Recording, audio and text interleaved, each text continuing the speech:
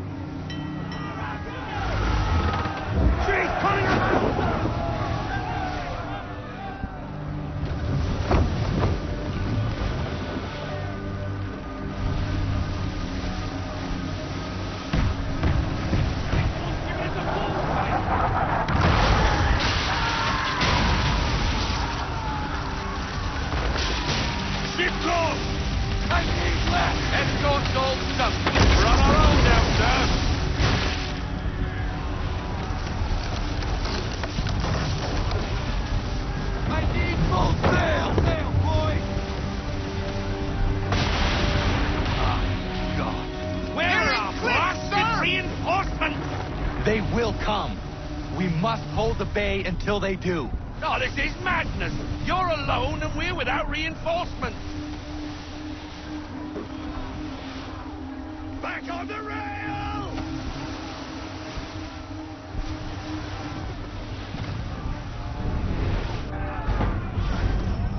Careful, Captain.